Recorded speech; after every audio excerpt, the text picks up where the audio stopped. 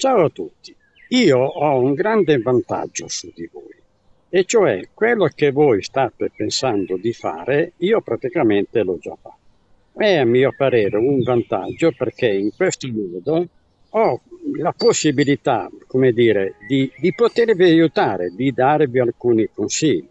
È per questo motivo che ogni tanto faccio dei video tipo cosa fare prima di venire in Brasile o cosa pensare prima di venire in Brasile.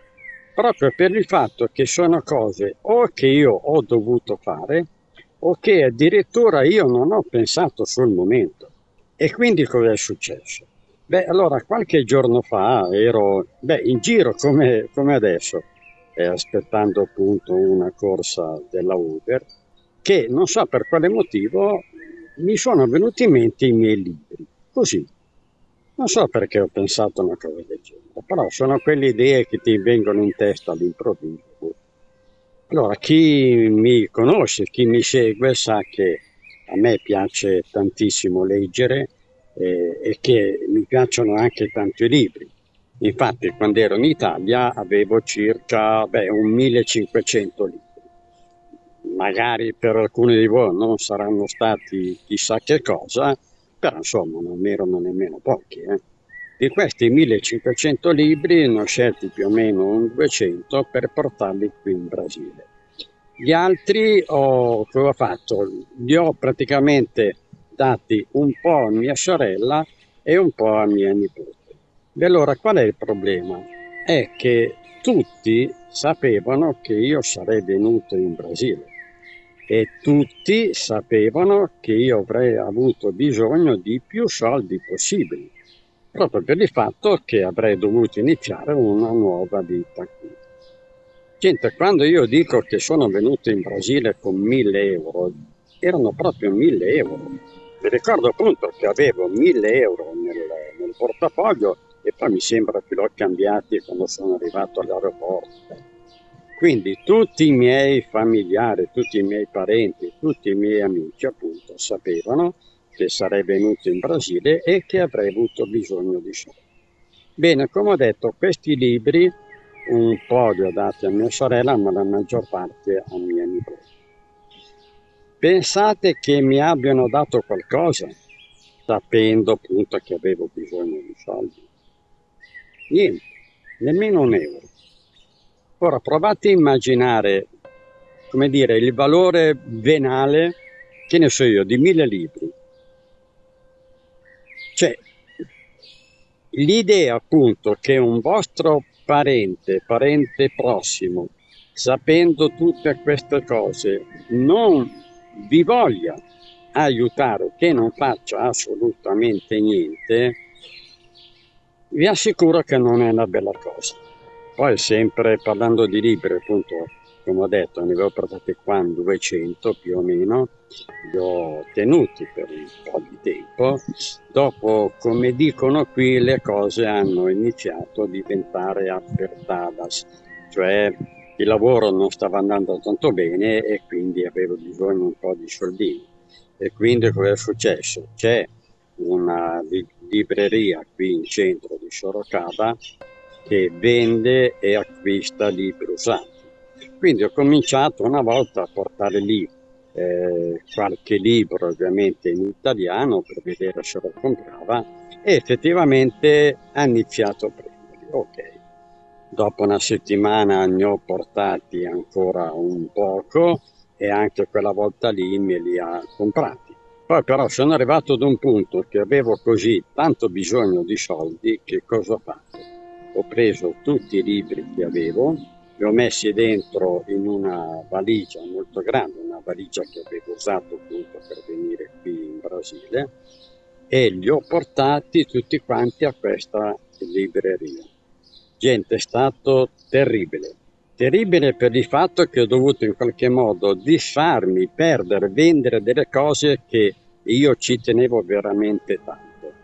E poi ragazzi, credetemi, eh, voi non avete idea, ma portare una valigia grande piena di libri fino a questa libreria che era in centro, più o meno la distanza da casa mia era intorno ai 4 km, la valigia quanto sarà pesata? Boh, 50 kg più o meno, perché era piena di libri.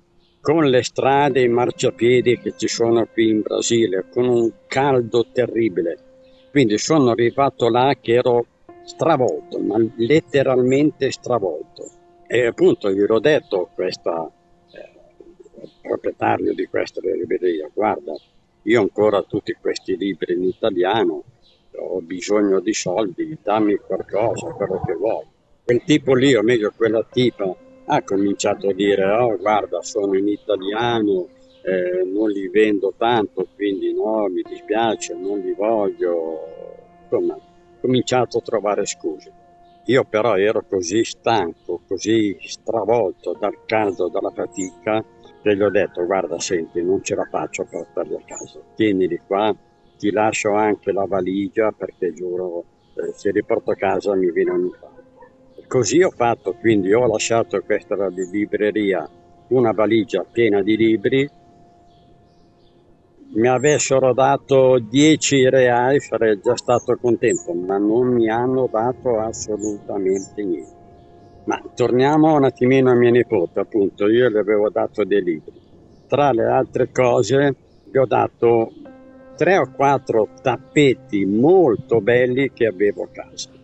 Erano tappeti, come dire, di importazione. Eh, ricordo che ne avevo uno cinese, per cinese non intendo uno comprato alle bancarelle, proprio eh, fatto a mano, fatto in Cina, molto bello. Ne avevo uno indiano, anche quello molto bello, molto colorato. Ne avevo un altro che io reputo, beh, tipo persiano, dopo non so esattamente l'origine, però era quel genere lì. Quindi avevo un sacco di tappeti molto belli, anche quelli glielo dati a mio nipote. Oh Franco, ma se eri povero come dici, come facevi ad avere tutte queste cose? Beh, semplice, col lavoro che facevo eh, avevo conosciuto appunto un negozio di mobili che vendeva appunto tutte queste cose siccome a me piacevano e piacciono ancora i tappeti e sapendo che mia moglie sarebbe venuta dal Brasile, ho cominciato a comprarli. Bene, anche in questo caso, quindi ho dato a mia nipote tutti questi tappeti molto belli e oserei dire molto costosi.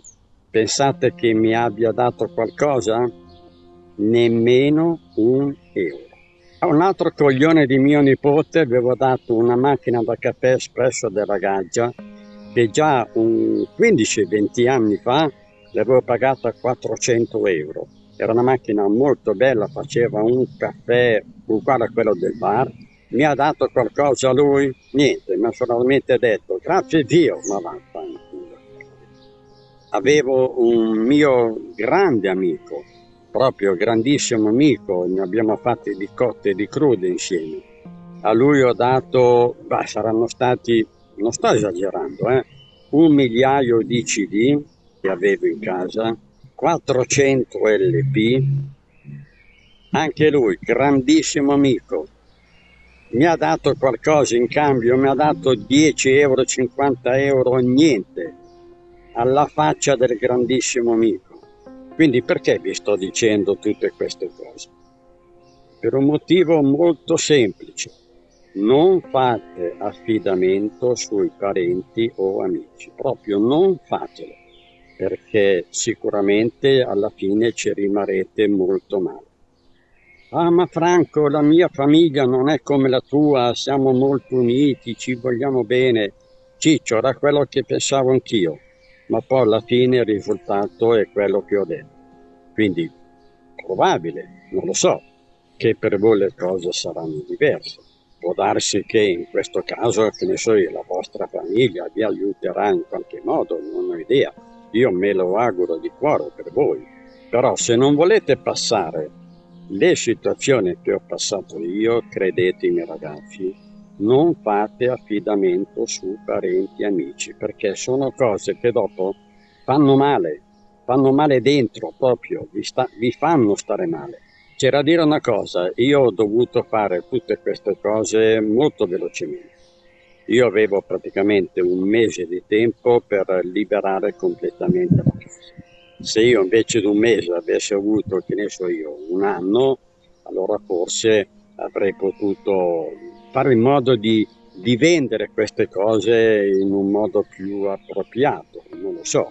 Quindi altro consiglio che vi potrei dare, se appunto un giorno deciderete di venire a vivere in Brasile, preparatevi già con molto tempo prima di venire, proprio per evitare tutto quello che ho passato io. Però il succo di questo video è proprio questo. Non basatevi sulla vostra famiglia, non aspettatevi, oserei dire, niente da loro, né dalla famiglia né dagli amici. So che è brutto dire una cosa del genere, so che è triste, però proprio per evitare di avere problemi dopo, proprio per evitare di stare male, è meglio pensare di non avere niente piuttosto che pensare il contrario e poi appunto rimanere delusi in una maniera assurda. Quindi torno a dire, io mi auguro che per voi le cose siano completamente diverse, però è meglio pensare al peggio se poi le cose invece andranno meglio, perlomeno sarete già psicologicamente preparati, ok? Boh, questo è tutto, era quello che ci tenevo a dirvelo Avevo già fatto un video parlando più o meno di queste cose, ma ho voluto in qualche modo ribadirlo, non so per quale motivo, e quindi noi ci vedremo nel video prossimo, ok? Ciao!